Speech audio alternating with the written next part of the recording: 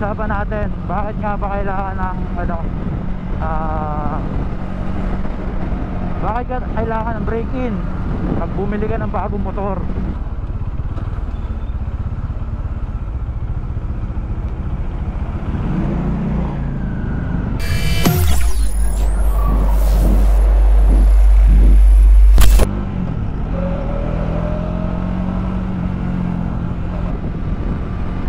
Oo, wala ka eh.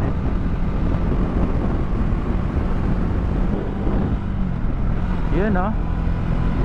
Ganda ng panahon ngayon.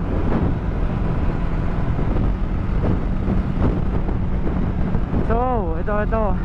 Usapan natin, bakit nga ba kailangan ng ano ah bakit ka kailangan ng break-in pag bumili ka ng bagong motor? Lagi natin naririnig yan, oy break-in mo na yan, may bago kang motor, break-in mo na yan. Naaway ka ng girlfriend mo, break-in mo na yan. Ay, iba pala, iba pala yan, iba pala yan. Gago! So, yung term kasing break-in, actually, ano siya, ah, siguro jargon na rin.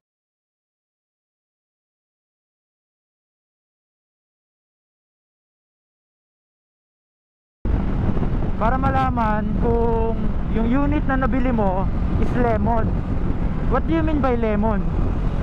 Lemon, ibig sabihin, uh, assembled siya, hindi naman siya fake or ano siya, considered legit siya. Legit talaga siya. Ah, the only problem is, pag sinabi ang unit mo is lemon, eh, possible, merong sira, merong defects na hindi nakuha before sales. Diba?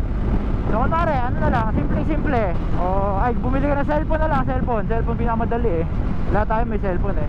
So bumili ka ng cellphone. Pag gamit mo, 2 days Bigla-bigla nalulobat Or bigla-bigla namamatay. Yon Consider as, ano yon lemon. Kaya mo, mapapawarranty mo pa Under warranty period. Diba?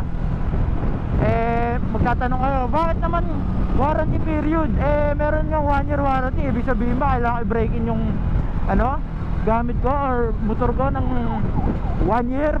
Hindi. So, yung pag-break in mo, kasi merong, kunwari, 7 days, 1 month, ganyan, para malaman kung need palitan yung unit. Sa warranty na regard, regarding dun sa ano, sa mga 1 year, 1 year na ganyan, by parts na kasi yun. Kunwari, electrical, 1 year electrical, ah, or 9 months electrical warranty. So, electrical lang yung part nun. Pag kailangan may pa-warranty na ganun, free yung service, pero hindi naman nila kailangan palitan yung ano mo, motor mo. Kaya ka nagbe-break in, yung sa break-in period, para malaman mo kung masisira ba or meron bang o meron bang mali dun sa function na binili mo para meron ka pang habol para for replacement ng buong unit. Minsan sa dealer sasabihin ay hindi ganyan. Ah, wala nang replacement yan ganito ganyan. Huwag kayo maniwala doon pwede at pwede mong habulin yon lalo na kung bago pwede pwede mong habulin. Meron tayong tinatawag na lemon law so yung mga products na nabili mo kung bago pwede pwede mo siya pahabol, papalitan, ganyan. So yun ang reason kung bakit kailangan mag-break in so kunwari sa motor naman natin ah, ano yung binibreak in mo?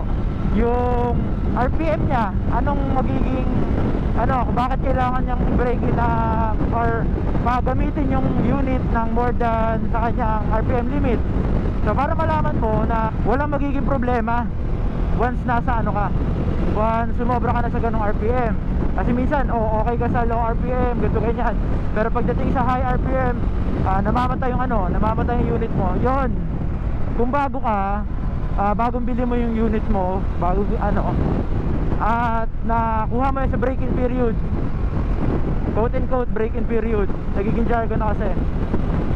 Yon pwede mo ipa process for refund gusto mo balik yung pera mo or replacement kung gusto mo talaga yung unit which is usually laging res- replacement. Tapos isang ano pa, kunwari, ah, katulad na ng unang issue ng Dominar for advertisement. Hoy, muulan dito. Ikot tayo, ikot tayo. Siyempre, in-advertise nila to ng 400cc. After a month, hindi nila mabibigay ng 400cc, di ba? So, medyo, ano yun, kaso yun. Niti kaso. Kung ayaw nilang ipapasok ng 400cc or or ibalik nila yung pera. Yun. So, yun naging issue.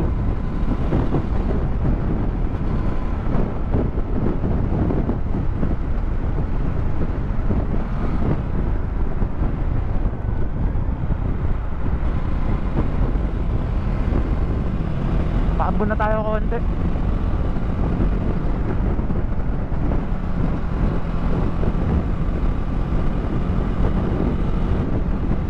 Yan. Pamplasan. Patuloy ng advertisement, 'di ba? Dito nga pinasok 'yun eh. Expressway 'yun, SLEX 'yun.